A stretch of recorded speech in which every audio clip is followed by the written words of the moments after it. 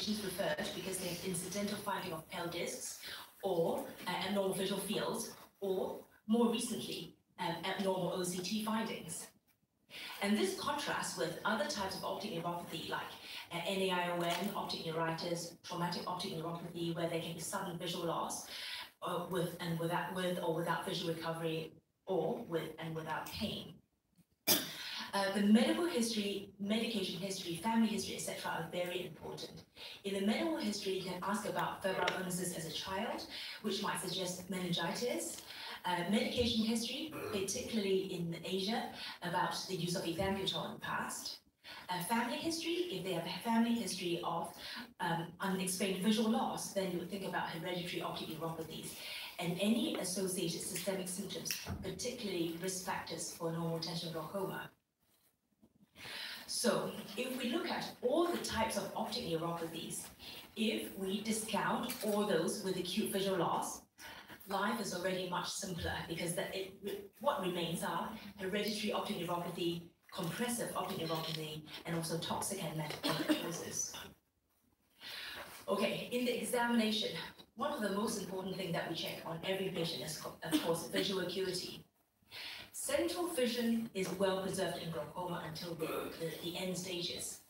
So this distinguishes it from most other types of non-glaucomatous optic neuropathy, like compressive optic neuropathy, optic neuritis, or even NAION. Color vision, as Claire mentioned, most non-glaucomatous optic neuropathies present with a red-green color deficiency, whereas glaucoma uh, autosomal dominant optic atrophy and ethambutol-related toxic neuropathy will present with blue yellow color deficiency. But when was the last time you checked color vision on your glaucoma patients? So this is this is difficult. Okay, you would have thought the presence of an RAPD would help you to dis distinguish a unilateral uh, non-glaucomatous optic neuropathy from glaucoma. Unfortunately, studies have shown that in glaucoma, because of the asymmetric um, uh, presentation, 9 to 82% of them do have an RAPD, so that doesn't help you much. Intraocular pressure. So my glaucoma specialist colleague tells me it adds no diagnostic value. It's merely a risk factor for glaucoma progression and allows you to monitor treatment response, but we need to be aware of ocular hypertension and thin corneas. Other signs, uh, you, we do, even as a neuro-ophthalmologist, need to do gonioscopy so that we can uh, rule out intermittent primary angle closure and look for signs of uveitis. Um, it is it has happened not rarely in the past that patients with a history of Posner-Schlossman syndrome, um, they may may have normal intraocular pressure at the time of seeing the ophthalmologist, but there are signs which suggest suggested asymptomatic attacks in the past, which cause um, uh, glaucomatous visual loss. Okay, so a quick quiz. How many of you think that this is normal? One, two, three, four, five. Yes, it is normal. Okay. Next one. How many of you think that this is normal? Glaucoma or non-glaucomatous? Non-glaucomatous. Of course. Pale neuroretinal rim, no rim thinning. This is NAION. Okay, this one. Normal or abnormal? Abnormal. Abnormal. So glaucoma or not glaucoma? Glaucoma. Glaucoma, because there's narrowing of the neuroretinal rim and the rim is pink. How about this one? Normal or abnormal? Abnormal. Abnormal. Is it glaucoma or not? Um, nutritional. This is more difficult. This has um, increased cup-disc ratio, but the rim is pale. To be honest, it's quite difficult to distinguish from the other. So this is an optic atrophy from LHON. So optic disc assessment is very important in distinguishing between glaucoma and non-glaucomatous optic neuropathy. Normally, the is pink because of presence of capillaries. And with retinal ganglion cell loss, you get disc pallor. In non-glaucomatous optic neuropathy, the key word is pale neuroretinal rim. In resolved uh, AION, you may get superior or inferior segmental disc pallor. And when you see bilateral segmental disc pallor or, or bow tie atrophy, then you need to think about chiasmal lesions uh, with uh, bitemporal uh, hemianopia. With glaucoma, you should get an increased cup-disc ratio and the, the rim should remain pink. Usually, there's initial inferior temporal rim loss followed by superior uh, temporal sectors, therefore violating the ISNT rule. However, at the end stage, the rim does appear pale. To make things up, so, so other optic disc features uh, which are suggestive of glaucoma, including notching, uh, which is a focal loss of the RNFL, nasalization. So if you look at these two pictures, normal versus glaucoma, you could say see that the vessels um, are crowded more towards the nasal side. Uh, bayoneting of the vessels, where there's kinking uh, of the vessel as it enters the neuroretinal rim. Uh, the beta zone peripapillary atrophy, um, which is distinct from the alpha zone, which is bit further away, but it can happen in normal patients. However, in high myopes, which is um, very common in, in Hong Kong, this is difficult to tell. So optic disc hemorrhage is specific but non-sensitive for glaucoma, and we need to be aware of the other causes of disc hemorrhage, including in the presence of optic disc swelling or diabetic retinopathy. But hopefully there should be other signs which tells you this is not, uh, the disc hemorrhage is not caused by glaucoma.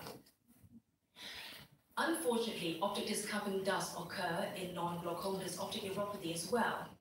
Not only after GCA, but also in NAION and other types of uh, non-glaucomatous optic neuropathy, and can also happen in physiological cupping. This gets tricky. So the, even for the experts. So in the study, um, where they invited 23 glaucoma and neuro-ophthalmology specialists to look at disc photos without any clinical information, they found that even experts made mistakes. So when they diagnosed glaucoma, 61%, only 61% were glaucoma, but 19% were dominant optic atrophy, 15% uh, LHON, and 5% were normal. So we're excused. We, so in addition to history and the disc appearance, we need something else. Visual field, of course, is very helpful. But looking at these two visual fields, they look exactly the same. One is from NAION and the other one is from glaucoma. So once again, with visual field um, examination alone, it cannot give you the whole picture. So in glaucoma, you get supranasal, infranasal defects or arcuate defects, and at the end stage, uh, you can get tunnel vision. So this is mirrored in, uh, well, in optic neuritis and NAION, you can get something similar.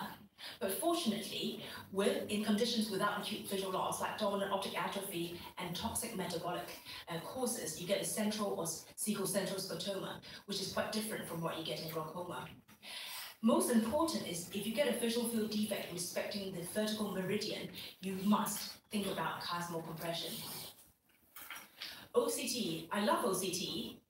In um, glaucoma, you can get temporal and supratemporal retinal fiber layer defects. However, even OCT alone is not going to give you the answer. For example, if you look at this, this is a patient with NAION, and this is with glaucoma. If we just look at the peripapillary RNFL, the pattern deviation looks exactly the same as well as the average RNFL thickness. So finally, we get to neuroimaging. So when should we do it? We should do it when the patient has decreased central VA, when there's pale neuroretinal rim, if you have temporal visual field defects or if you have visual field defects which uh, are vertical aligned and respects the vertical meridian, when they have young age and normal IOP, and also when you monitor them, if they have a faster progression than you expect, then you should image them. Beware that in advanced glaucoma or optic atrophy, there's relative increase in CSF around the optic nerve, and therefore it gives you increased signal on T2 MRI images. And sometimes you get uh, reports from uh, radiologists saying that um, this patient has acute optic neuritis based on the finding of increased T2 signal and MRI changes.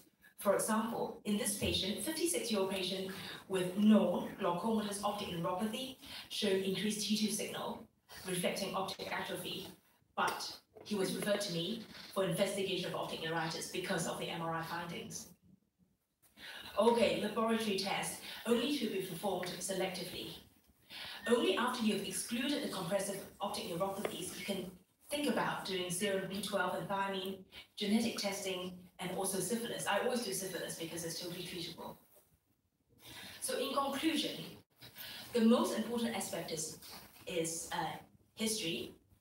When there's sudden visual loss, central visual loss, or significant family history and medication history, you should think about non-glaucomatous optic neuropathy. In the clinical examination, you should, you should pay particular attention to the central visual acuity, color vision, and disc morphology. But we always have to complement it with perimetry and OCT. Neuroimaging, we should reserve um, for selected cases only. So thank you. I do want to acknowledge Professor Christopher Leung, uh, our, my good colleague and uh,